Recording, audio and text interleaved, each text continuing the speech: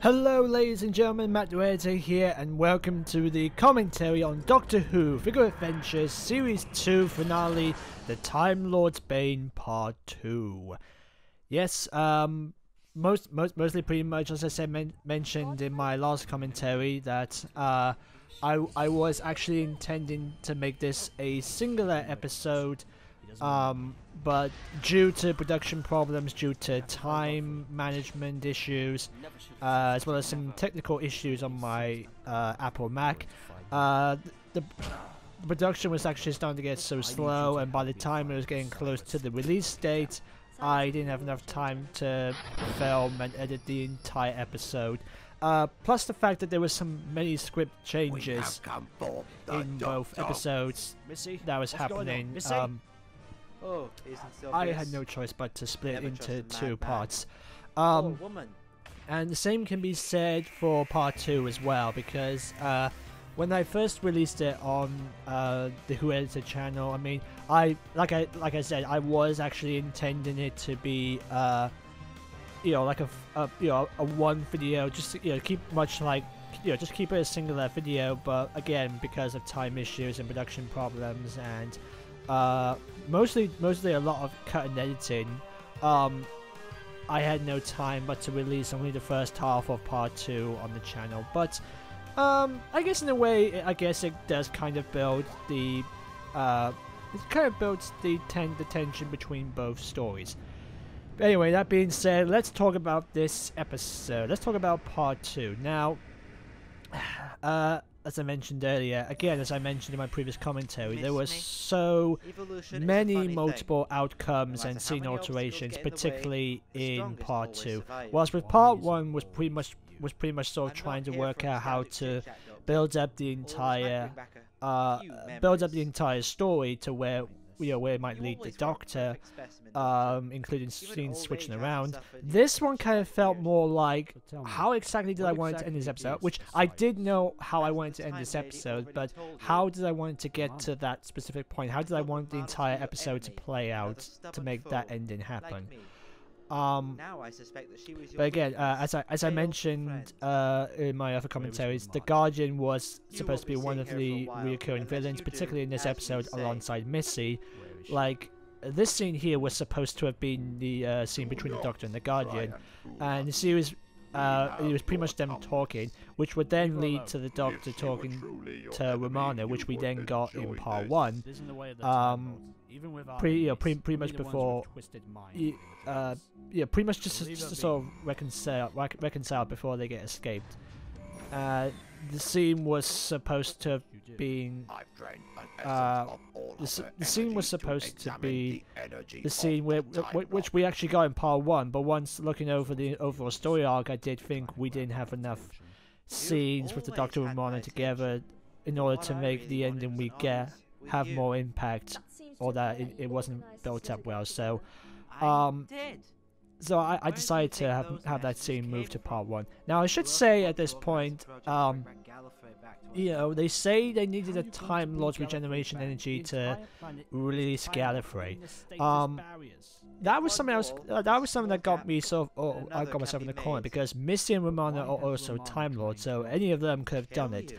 But then I sort of thought, Oh, well, no. the Why Doctor was the, the Doctors were pretty Well, much the ones maybe who activated that little orb Well, thing we'll in about Day that of the in Doctor. So they're the ones who controlled the painting all the time lock.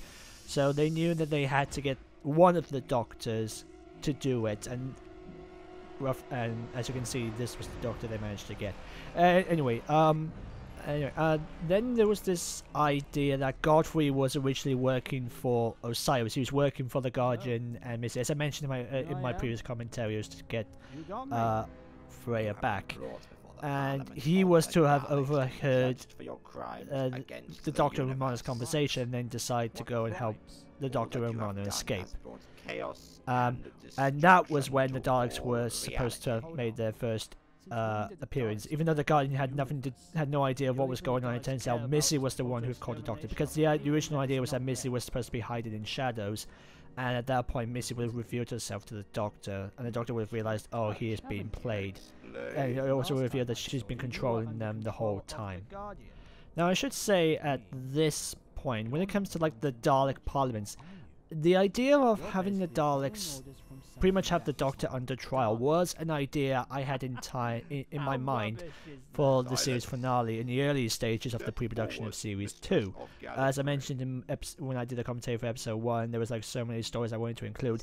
This was one of the stories I wanted to do, and the story was originally going to be entitled uh, "Punishment of the Doctor" or "Trial of the Doctor."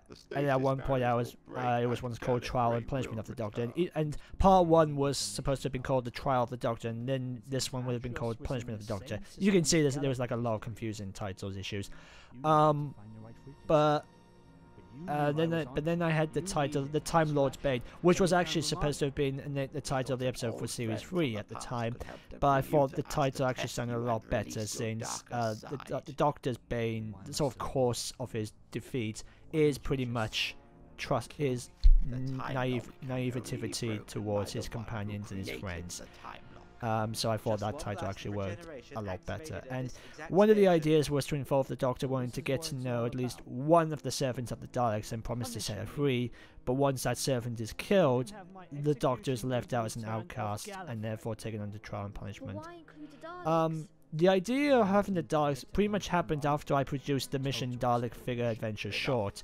That I wanted to use the smaller Daleks, which in my opinion looks so much so much better in detail, uh, with a, a, much better uh, structure than the actual 5-inch figures.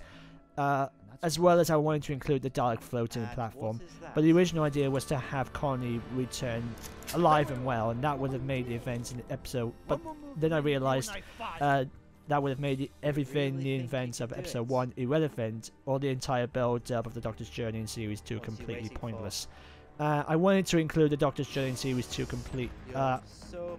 Uh, so I wanted to include Daleks such as uh, Dalek Sec as the Supreme, Rusty the Dalek as the Dalek Artificial, the Time Controller from UDWF-1, and the Dalek Mutant as the Dalek President or Prime Minister, similar to the ones from Asylum of the Daleks. But once I sent this idea to Sam Lloyd, he actually volunteered to create a custom Dalek for the Dalek Artificial, and it's actually kind of cool what he did. And it's actually kind of cool to have it in this episode that I, I want to use it more in future episodes. Uh, with the escape scene, the Doctor was originally going to have a standoff between shooting Missy and Romana, similar to the end of Time, which was uh, to play a part in Missy's plan Oh, to turn missiles. the Doctor to the dark side, so to speak. at that point. Uh, but once the Doctor cannot do it, Missy then kills Romana herself. This would, of course, the Doctor to regret what he has done and escape the station with Godfrey, who at the time, who, who was originally supposed to have been there.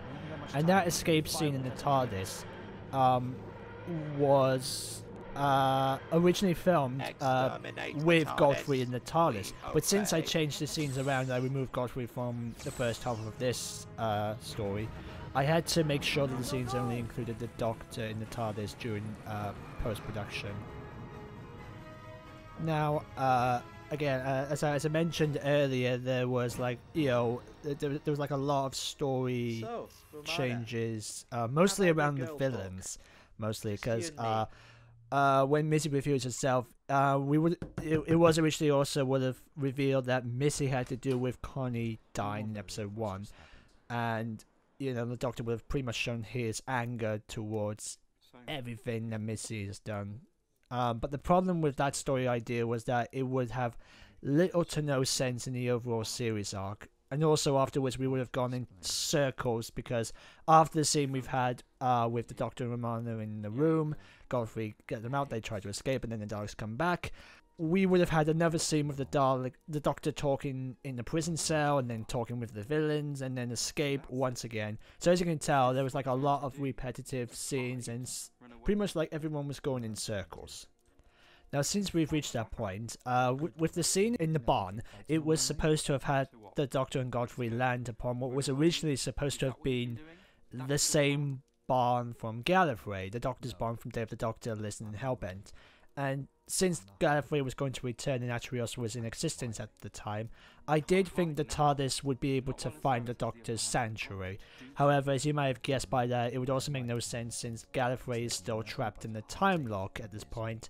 So how would the barn be able to exist outside Gallifrey? Uh, so I did think it would make a lot more sense if Godfrey has managed to find a house away from civilization to stay away from the Doctor, to, pretty much to go in hiding, uh, which actually worked in his favor. And as we can see, uh, it's another uh, Doctor's speech. This time he's sort of questioning um, uh, his own morals, his own existence. Like, does, has everything he has done, will it be remembered? Will he be remembered? Because that was pretty much a point where, because when I was writing the script, I was at a sort of dilemma where I wasn't quite sure exactly if I wanted to continue doing Figure Adventures at that point. Because at that time, I was already focused on university work and I was really trying to find a job at the time. And I was also sort of thinking of doing like a sort of like a sort of uh, a five years video where it sort of focuses on my dilemma between doing figure adventures and leaving YouTube to do have a proper career. Um, so I can't, and but since that idea did not work, I I did kind of think it would actually work okay. It might be a good idea to do for this sort of speech. And as you can see here, it was filmed entirely in the dark. It was actually the first time I started using lights with the sort of candle or fire effect it, it was it was after Sam Lloyd released Descent of the Doctor that I did want to use the same lights for this particular scene. Uh, even though it was kind of hard to see through the camera since we had the entire room dark, lights out and the curtains closed, and there were so many shots in the camera that you could not see the Doctor's face, and uh, also you know like slightly out of focus at some points, and it was hard to keep the camera still uh, at some moments. But even though I, I think the speech did take a little too long, in my opinion, I am actually impressed with how we managed to film this entire scene. The light, the fire lighting, I think really works in favor. I'm actually, I'm actually glad that Sam allowed me to use um, the same barn wars, uh, the same barn wars, uh, the table which he also used in his own adventures. Actually, that's that's the thing because this scene, this particular scene, was actually filmed before uh, the other scenes where we saw Godfrey in his own barn in part one. That was mostly because uh, by the time after I did that scene, I wasn't quite. Sam had gone off to university in, Bourne, in Bournemouth, uh, which, by the way, well done, my, well done, my friend. Um, I wasn't quite sure exactly I would be able to use the same, you know, the same stuff. So I asked, I asked him if I could borrow the barn walls, and I, and I thought at the time I've got my own table to use, uh, even though it's clearly obvious that it's not the same table or anything like that. Oh, oh, oh yeah. Um, if there's one thing I would definitely change at this point, I would have changed the that sort of laser effect because uh, by the time I, I released the first half of the video and I released that scene, people thought, "Oh my god, did you is Romana dead?" Not dead at that point, but um, I'm I'm looking at thinking to myself, I, sh I should have made it blue, make it look like she's been stabilized or frozen, rather than look like it's she's been killed. That, that, sounds a bit harsh, but yeah. Um, but yeah, that's that's the one I would I would have definitely changed it from red to blue at that point. Uh, I should I should say at this point. I mean, I'm looking at the scene now. The idea of Doctor looking at um the time ring, which I which which in my opinion I, I thought it's actually nice. Oh yeah, I just noticed I forgot to add in the actual figure. Um, yeah, I, I kind of wanted to answer the question: Did Connie and Keith get back together after episode one? Because you know, the, as the Doctor mentioned, uh, she will wake up in a couple of weeks, and when she does, you can do it again. I wanted to answer that question: Did did they have a good life? And yeah, they did. Now this particular scene similar to uh, in episode one, as I mentioned, there was supposed to be like a sort of dream visual of the Doctor dying, uh, shown to Connie. Um, the idea for this was that Missy was telepathically talking to the Doctor, and the original idea was that he was supposed to be on a burned planet. Kind of wanted to see this sort of image of Missy in the the Rassilon robes. That would be a nice visual, wouldn't it? Michelle Gomez in Time Lord robes. And then uh, she's pretty much just saying to pretty much giving exposition that her plan is to, uh, in order to bring the planet back, you have to get rid of a planet. And the idea was that Gallifrey was to take Earth's place at this point. And then we would have seen like the doctor sort of drowning in the ground, and then Missy would have said, "Okay, I am tell I'm sending um, I'm not a hero. my patrols to stand down until you bring yourself back." Now at this point, the original script was that Romana was killed, What kind of and the doctor Doctor's plan that? was to go us hi- go out, go try. hiding, and it was supposed to be that Missy and the casualties Daleks were going to send out some patrols to find the Doctor's friends to hold hostage and, or kill them unless he hands himself over. That's for us to And the reason this scene had to be adjusted was that one of the things I kind of noticed was that the majority of this uh, episode felt a lot similar to Series 9 Hellbent, which is which was not a lot of people which was which was one that not a lot of people liked at the time, myself included. The only differences would have been that we would have seen uh would have been the endings, how this one ends in a fight whilst Hellbent ended with a mind memory wipe. But wait, what about the Time Lord? Shouldn't they have been looking for the doctor at the point? Sorry, sorry, I'm getting myself sidetracked. Um, My lord. now the idea, of, uh, I, I should say at this Doctor. point yeah, for this scene, uh, the idea was that Missy was supposed to stand next to the Guardian, hoped. the, and the idea was that they were going to be talking to the Emperor of the Dalek, or the Dalek President. And I had this sort of funny visual to have like a Dalek mutant connected, uh, kind of similar similar to the Emperor Daleks. However, they when you know obviously the Dalek Emperor is so big, but they actually go inside the casing and they come face to face with the actual mutant, which was supposed not supposed to be in like a little tank. It was supposed to have been connected to like wires, uh, similar to you know. Basically, it was sim. It was supposed. It was. He was going to be similar to uh, the design of you do not Krang in uh, Teenage Mutant Ninja Turtles film Out of the Shadows. I can't. I, I, I don't know why. I kind of looked at that film and I thought that's kind of like the Dalek mutants. With so I, and I sort of thought that would be a nice idea. Um, but yeah, when it came to like the actual production work, I had no idea how I wanted to play it out. Even though I did, I had like a Blu Tack plasticine uh, Dalek mutant made. I had no idea how I was going to make the uh, the Emperor Dalek. Even though I went to the Doctor Who experience and I took multiple angle shots of the Dal- Dalek Emperor, the experience, I no, I still had no idea how it was going to how it was going to be filmed. So I I had to take that idea out. Now, funny enough, for this scene, I mean, if there's one thing I sort of wish I should have done at this point is I should have turned the volume up for my doctor because there's there's like, there's like a couple of moments where you can't hear what my doctor is saying. But I think in this scene in particular, there's no need because basically the doctor's pretty much just taking like uh, one last moment look around his TARDIS before um, he says goodbye because he, he knows he's not going to come out of it alive and he has no idea if he will survive. So he, he's just saying his final words to you know like an old friend, especially to the TARDIS. And I quite like the idea that he switches off, the lights go out um, at that point. Uh, Okay, um, now at this point, as we can see here, Godfrey is talking to Romana. The original idea was to have Romana actually appear as a vision or a ghost uh, affected by the time ring for when Godfrey puts it on. Uh, Romana suppo- was was actually supposed to have died earlier in this episode and was to appear as a sort of ghost thanks to the uh, to Godfrey, and she was to be a sort of Where's the doctor? guiding angel or It won't be long yeah yeah pretty much a guiding angel for Godfrey for when he finds the TARDIS. Uh, actually, it, it, it was supposed to have been a classic TARDIS. TARDIS similar to the one from Wait, it's uh, Name of the Doctor and He Hellbent. does have a and It was actually supposed to have been hidden behind the barn, almost like it was. It has been in that barn compatibility. We can stop for years, just in I can teach case an emergency but in order happens. You know, kind of, kind of like an need to be emergency, uh, emergency transport. Um, gonna need help. and uh, Romana was An incoming call. she kind of teaches Godfrey to sort of fly the TARDIS as as well as help him through the time station. You know, through the time station, almost like a you know, like a video game guide. You're like you're you're you're, like you're, you're playing like one of those sort of first-person shooter games, and you've got like a voice in your head saying, "Turn left, go right, duck." You're you're getting close. That sort of stuff.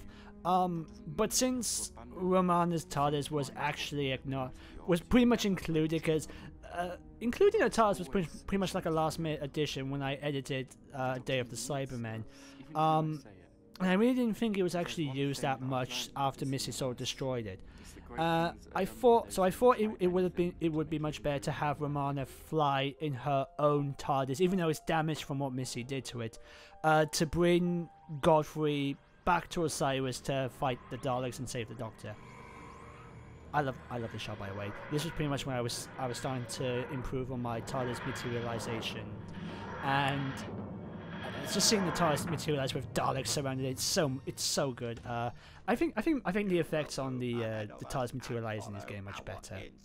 Oh, um, I should say um, there was originally a scene uh, which I did film um, between the Doctor leaving his TARDIS to being taken to the Parliament of the, of the Daleks. Oh, oh yeah, that's the you know the Dalek mutant president slash emperor appearing in hologram. But, uh, yeah. but anyway, um, there was anyway there was supposed to be a scene whilst the Doctor was being taken by the Daleks to the trial room. Uh, where he walks past Romana, who is still alive and well, uh, just pretty much waking up after Missy sort of uh, throws her, um, frozen her in, in that earlier scene. The doctor would then ask the Daleks to let her go, because she's done nothing wrong, you know, she's done. And for which they do, they do let Romana go, which then leads to uh, Romana to run to a TARDIS, escape Osiris, and go and find Godfrey. And uh, I don't know why I removed him. Maybe I should have included him. Maybe, maybe it was because of time, uh, the duration problems of the story. Maybe wasn't flowing that well, but or something. I, I, I, I don't know. I might maybe I might release an, a separate video for deleted scenes. Now, the Doctor's regeneration being extracted, that was actually an element which was going to be uh, featured in the series one finale, Bridge to Eternity. It was an early idea to have the Doctor's regeneration be extracted, leaving nothing but his own clothes. You know, kind of similar to what you like when Time Lords get regenerated for the last time, they're nothing but dust. And it was to have the Doc, you know, and it would have it would have been up to the companions to sort sort out the problem and save the Doctor, uh, which we do get here. And with Godfrey kind of reaching his sort of goal to become a knight or a soldier, a leader. Um, I think that idea worked a lot better. Phase one, go go go. And then, yeah, as we saw there, they're, they're being attacked by unit ships, uh, Judoon ships, um, and then later on, that's oh, oh, those those are good shots of Daleks, by the way. I love film animating the Daleks. Don't know why. um, but anyway, uh, yeah, uh, basically, uh, it's basically unit the Shadow Proclamation, and we we find out later Godfrey called upon knights from his own time to come and help the Doctor. Let's move. And yeah, much like a lot of action, I, I really, for some reason, I really enjoy film animating people in sword fights or fighting, particularly in series two. That's why there's a lot of sword fights uh, in this series. I just realised. Shields are now stabilized. Alright, then let's move to phase two. Um, now I should say the battle was actually a lot longer in the uh, in the original cut. Uh, we would have seen like a knight. Uh, at, at, this point, this scene here, uh, we would have seen like a knight uh, teleport in front of Godfrey Romana to destroy a Dalek. Uh, we would have seen a Legolas figure teleport to blind a Dalek, only to then get exterminated straight afterwards. Uh, which I, I, should say the extermination effects had really improved much better in this episode than they did in like series one. Uh, the reason this scene had to be cut down was both due to the running time being approximately uh, five to ten minutes longer than the actual running time, and uh, as, as, well as there was like a lot of time uh, running out. I was running out of time to release it, and I did think this scene felt like padding rather than continuing the story. It felt like there was like a whole bunch of action scenes rather than you know actually continuing the story of Godfrey finding the Doctor. Now I should say uh, there were a couple of lines in this scene between the Doctor and Missy for when Godfrey rescues him, when the Doctor kind of brings Missy down. Like at this point, he was supposed. You can't do this. Yeah, when she says, um, do this, we'll lose Gallifrey. Yeah, when we lose Gallifrey. Does he say in this line? Oh well, maybe he did. He was, he was basically supposed to say Ga- Gallifrey had his chance, and the Doctor would have left Missy to uh, the Shadow Pocket. Uh, as he said, as he says earlier, he, he, you know, he was he, he was originally going to say, "I think I'll let the Shadow Proclamation take care of you," and he, he pretty much just left Missy to sort of die, which was kind of something Moffat kind of got wrong with Missy in or the Master in Dark Water until he fixed it in World Enough and Time. Um, that was supposed to have been the moment, that moment, and sh- first she would have gone to from working with the Daleks to working with the Cybermen. Um, however, she did actually make the con- it did make the continuity between this era and the official show to be a little confusing, especially for when I kind of hinted that Missy's plan with the Daleks, and thus with the Emperor Dalek build, you know, so giving us hints of what's to, what's going to happen next. Um, from you know, basically the plan where she says, "Oh, I've got a nice idea from the Witch's Familiar and how it would have worked." And I, I didn't know how I was going to continue from there to Missy's first appearance in Dark Water. But I do think that maybe this this is what happens in between Witch's Familiar and Extremis. So I think the idea of Doctor leaving Missy to the Shadow Proclamation would then lead her to being uh, sent to whoever those guys were in uh, Extremis. Uh, much like uh, with the entirety of this two-parter, one of the alternative ideas was to have uh, the Doctor kind of shoot Missy down after Rom- Romana was then killed in the battle, and the Doctor would have, was to use his regeneration energy to bring her back to life. And this would have also have led Romana to appear in UDWF1's Descent of the Doctor, which was the original I- idea for the original ending. And there was supposed to have been a post-credit scene was to have Romana wake up in Gallifrey to find she's in the uh, the UDWF WF1's uh, universe, and she was to go and find the female Doctor. Uh, I didn't think it worked, and and I didn't really think it worked in the tone of the series, and I think having Romana die saving the Doctor would have left a much bigger impact for both the story, the audiences, the characters, and especially for the Doctor. Uh, it kind of felt like it was bound to happen, uh, for me anyway. Doctor, what are you doing? Now I, sh- I should say at this point. Um, now I should say at this point. I mean, we're gonna find out later on. You know, he's then being attacked by the regeneration again, or you know, which leads into that. I did film an original idea was to have at this point he was supposed to have been exterminated by a Dalek, and I did actually film hit the extermination. I even did the effects and everything. It looked really well, but uh, you know, but I, I then saw for well, since we've had Time Lords being exterminated and die permanently, they don't wake up or regenerate anything like that. I thought. Uh, I don't think it would work again for the Doctor, so I then decided to have him being attacked by again by the uh, the burning inside his regeneration cycle, uh, which would then lead to Romana pretty much sort of sacrificing her life to save the Doctor. Um, So sorry. Yeah, there we go. Sorry for everything. Um, if there's one thing which I think I actually did pretty well. Oh, for those of you wondering what she's pointing at, there's a there's a machine at the back which pretty much sort of powers the entire um, security system, the entire engines. In fact, she's blown out and yeah, she's gone, dead, no regeneration, gone. And before the Doctor could even escape to his own TARDIS, he dropped. He's finally going to regenerate. Um, this particular scene was always bound to happen. If there's one thing I'm actually glad to have improved on, it's the regeneration and lighting effects. I mean, look at that. That is so cool. So proud of that. And yeah, I am so chuffed with how people reacted to that entire scene. And, um, you know, people were like, oh, I'm so glad to have been following this doctor. I hope he comes back. Or uh, I hope the new doctor comes. Um, so yeah, I'm I'm so glad you guys actually, um, which I, I should I should say thank you guys so much for uh your comments of your reactions to the uh, all my figure adventures. Um, now, uh, much like with Connie's departure in episode one, I did originally want to have Godfrey appear as a regular recurring character in series three but at the time I wasn't quite sure if Series 3 would happen to this to have decided so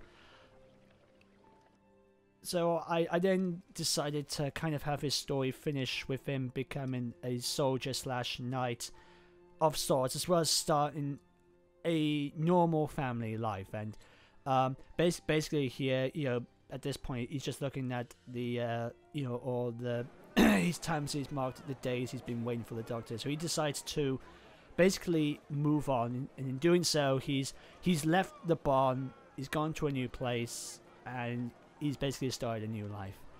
Um, so uh, this epilogue actually happened with the music first, which is the uh, four knocks from End of Time, and then I just improvised with how the story would play out from there.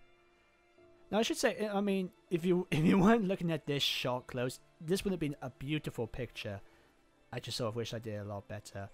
Um, looking back, I do find it kind of weird to have Godfrey have a new girlfriend and wife after his previous girlfriend had died in pretty much the same story. Um, but I did like the idea of Godfrey learning to move forward um, and to, to have a good life after his experiences with the Doctor.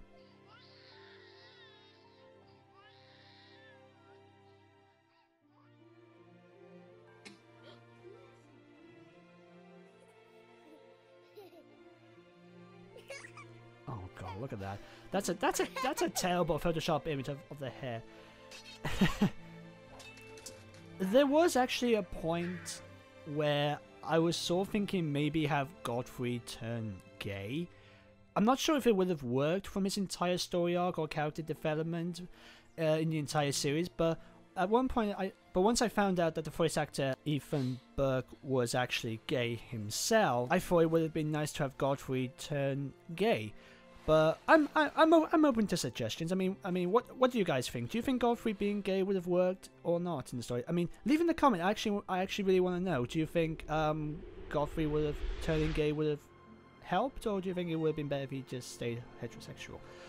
Um, and uh, yeah, uh, yeah, basically, yeah, yeah, he's he's there. He's gone back to the place because basically he's had his like his his last um couple of days. You know, he's gone old. He's lived his life, so he's decided to remain the rest of his life back to the barn. And in doing so, when he gets back, he hears the TARDIS. He walks out, and um, I actually wanted to get like a big close up of the TARDIS rather than showing the actual Doctor. Just have the TARDIS so close, and, and the idea was it was going to cut to cut to the TARDIS, almost like oh man, you know, I I kind of wanted to raise the, audien- the audience's expectations. Uh, to that maybe the Doctor's alive, maybe it's a, it's a new Doctor, and then all of a sudden cut. Um, but the idea for the idea of not actually showing the Doctor was just to give keep it open to maybe it's the same Doctor, maybe it's a new Doctor, but uh, and you know it, it was you had to wait until New Year to find out. So there you go, guys. That is uh, my commentary on the series two finale. I hope you guys enjoyed the amount of talk I went into doing the changes and the script writing and the production work on this entire episode. Um, be sure to join me next time for the last of the Figure Adventure commentaries, for my recent uh, Doctor Who Figure Adventures, the New Year special, Great Spirit of Adventure. So I'll see you then. Take care.